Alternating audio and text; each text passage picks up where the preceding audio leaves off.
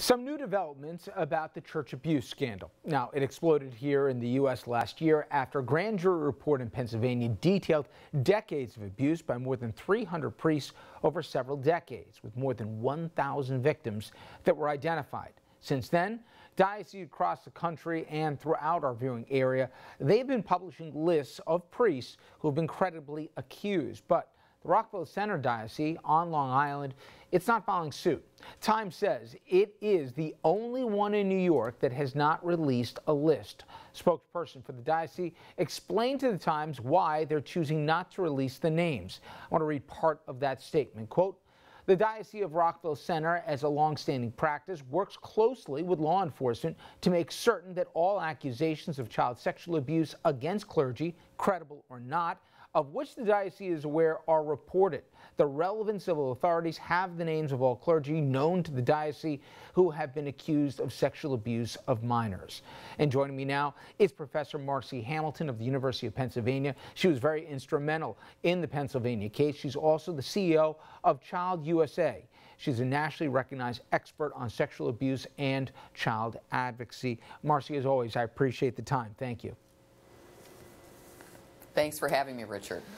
You know, in the times we talked about this, both in the Pennsylvania case and then subsequently, I thought we were getting to a uniform kind of policy where the optional nature of it was going away. I didn't realize, obviously I was wrong, they have these hodgepodge policies where it's really up to the bishop basically to make the call in his particular diocese, and it can vary widely.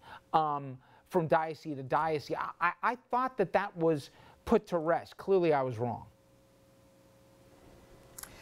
You know, each of the bishops in each diocese has complete control over the names they release or not. I'm not terribly surprised that we're dealing with uh, Rockville Centre as one where uh, the names are not being released. Uh, so we really kind of have three levels. We have places like Rockville that aren't releasing any names.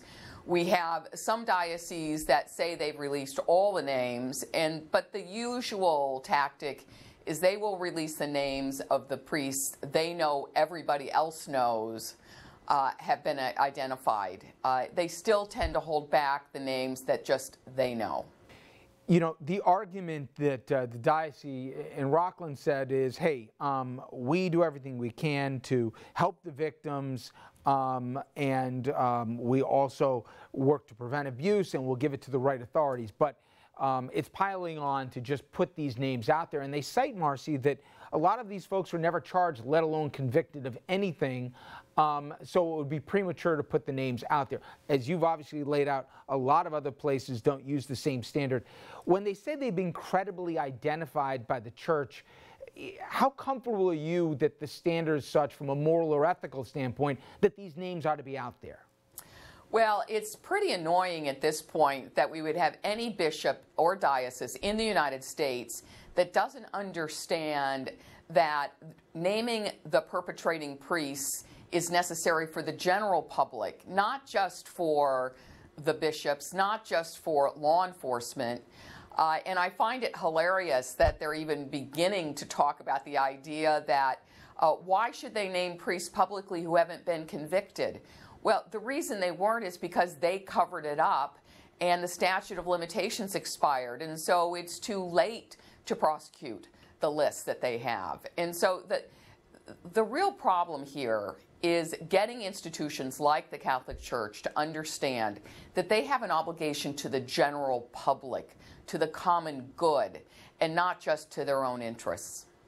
I saw in Charlotte uh, North Carolina, the archdiocese there initially, and they since did a 180, but initially they said, you know what, we're not going to put out the list here because it could re-traumatize the victims. In fact, I remember there was a case not long ago out of the, the New York area where somebody, when they saw their name again, um, decided, you know, that um, all the suppressed pain they had that it re-traumatized them. Now, I know that's a convenient excuse to not put out the names, but nonetheless, is there a consideration to that that maybe not every person wants to have this dredged up decades later? So uh, that is an old line that I didn't think the bishops would even pick up anymore.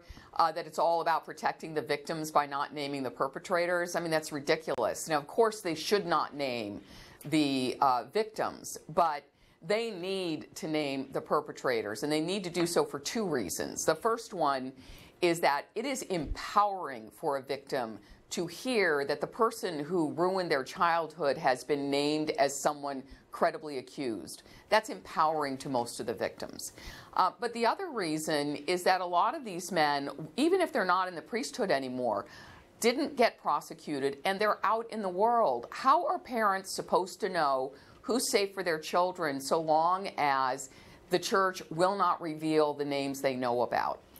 To that end, why are we still waiting for an institution who has repeatedly shown uh, that they're not looking out for the best interests of the lady, let alone uh, innocent kids um, that they might come in contact with?